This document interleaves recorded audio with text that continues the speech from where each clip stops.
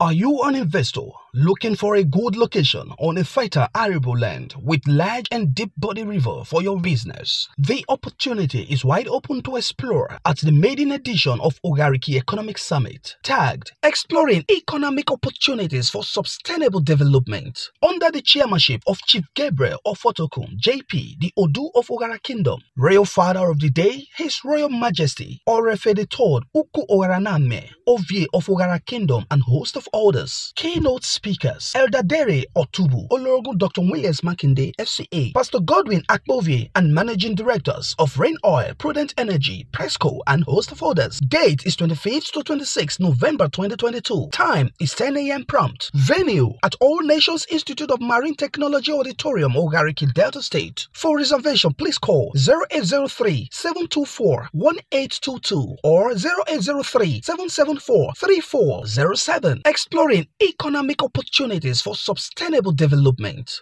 A topical discussion for pathfinders. Please note, attendance is strictly by invitation.